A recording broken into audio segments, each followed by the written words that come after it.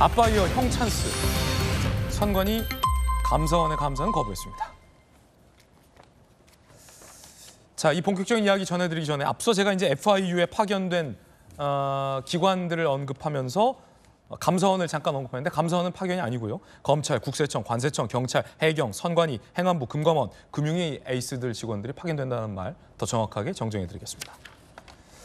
아빠 찬스에 이어서 이번에 형님 찬스가 있었던 건 아니냐라는 의혹이 불거졌습니다. 선관위 얘기입니다.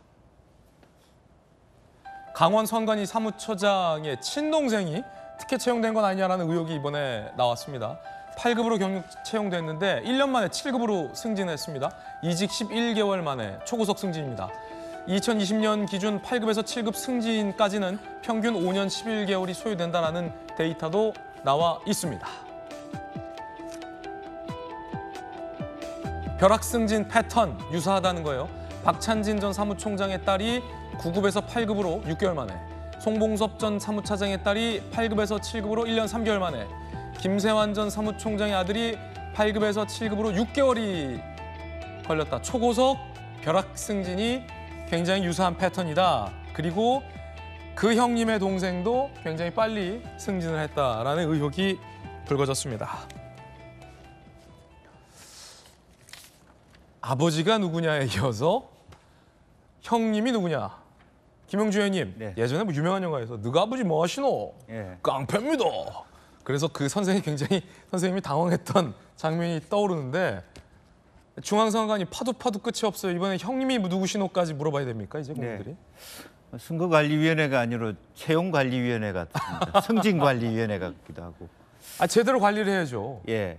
그야말로 윗물이 맑아야 아랫물이 맑다 이런 말이 생각이 들고요. 또 썩은 사과 얘기를 할 수밖에 없어요. 조직에 처음에 누군가 한번 저렇게 에, 빠른 승진 또 불법 채용, 채용 의혹이 있는 것이 그냥 넘어가면 일파만파 아, 저 사람도 하는데 나도 하는데 이렇게 되어 있고 또 아무도 어, 그동안의 관행으로서 어, 감사를 받지 않았기 때문에 마치 어, 갈라파고스처럼 독자적인 어떤 영역 속에서 스스로 깨끗하게 해야 되는데도 불구하고 썩어 있었다라면 저는 선관위에다가 어떤 선거 관련된 질의를 할 수 있을 것 같습니까? 사실 저희들이 선거할 때마다 선관위에 대한 불만이 되게 많거든요. 그래서 절대 선관위 할 때는 전화로만 하지 않습니다. 어, 공문으로 합니다. 왜냐하면 지방선관위와 중앙선관위가 입장이 다를 때가 많고요. 아하. 자기네들이 된다 그랬다가 나중에 입장을 바꿀 때도 많습니다.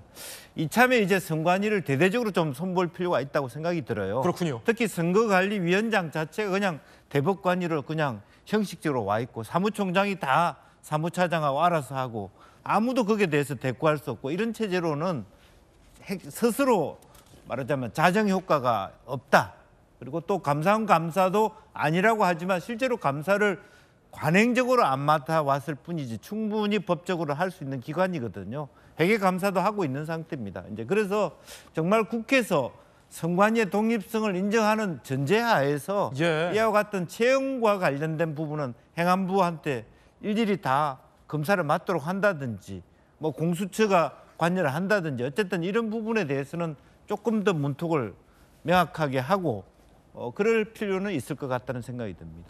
채용에 이어서 승진도 이른바 벼락 승진을 한 건 아니냐 소위 이런 논란이 일고 있는데 김광삼 변호사님 네. 검찰 조직에 계셨잖아요. 공무원 조직 계셨잖아요. 네. 사실 뭐 공무원 조직뿐만 아니라 저처럼 이 언론 기관이나 뭐 사기업에 어, 일을 하고 있는 직장인들 사이에서 한번 이 승진을 하기까지가 얼마나 힘들고 또 많은 시간이 축적돼야만 그리고 또 그 과정에서 어, 위아래의 많은 조직원들에게 인정을 받아야 승진이 가능한지에 대해서 많은 직장인들과 또 공무원 사회에 있는 분들은 아시잖아요. 김관삼 변호사님도 아시잖아요. 검찰 조직에 있었으니까. 그렇죠. 아니 그러니까 그냥 검사도 마찬가지고요. 공무원일지 회사원의 가장 관심 있는 영역은 승진이죠. 승진이죠. 그래서 내가 어떻게 고가 점수를 어떻게 할 것인지, 어떻게 실적을 쌓을 것인지, 또 윗사람이 어떻게 잘 보일 것인지 모든 것은 승진에 다 목을 메고 있어요. 예. 그런데 지금 이번에 형님 찬스 또 뭐 어디 비아냥거려서 형아 찬스라는 얘기를 쓰던데 이제 아빠 찬스 있고 형아 찬스 있고 좀 있으면 아마 제가 전수조사하면 삼촌 찬스도 나오고 뭐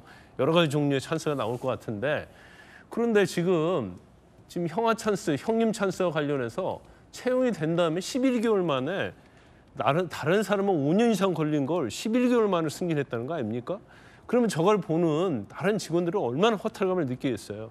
아 나는 형님도 없고 아빠도 없고 잘 나가는 사람이 없으니까 결국 원칙대로 해서 5년 걸려서 가는 거 아니에요. 근데 제가 좀 의문 나는 게 뭐냐면 누가 저렇게 고속 승진하면 직원들이 다 알거든요. 아 누구의 아들이고 누구의 동생이다가 알 거 아니에요. 그러면 이게 다 나중에 밝혀지라고 생각 안 했을까? 근데 좀 이해가는 측면이 있어요.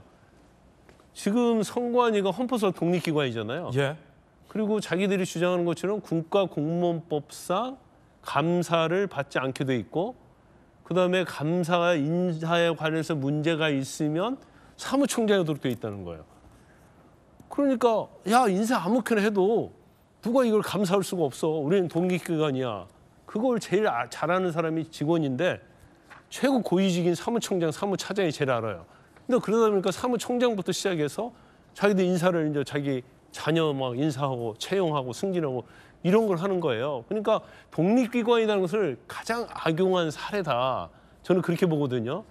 근데 사실은 선거 사무와 관련된 고유 업무에 대해서 독립기관의 지위를 인정을 해서 여야 정치 세력으로부터 영향을 받지 말라는 것이지 인사까지 마음대로 하고 어 자기들 뭐 내부에서 어 뭐 마치 쌈짓돈처럼 하라고 독립기관의 지위를 준 건 아니거든요. 근데 이런 어떤 법적 규정과 헌법상 어떤 규정 이런 걸 좀 악용한 전형적인 사례이기 때문에 예. 당연히 외부에서 이를 규제하기 위한 뭐 감사원의 감사랄지 이런 것들이 필요하다 이렇게 봅니다.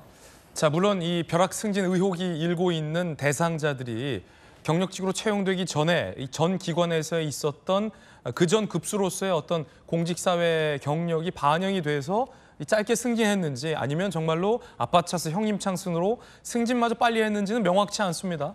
아, 보다 더 명확한 검증과 조사가 좀 필요해 보이는 대목이긴 합니다.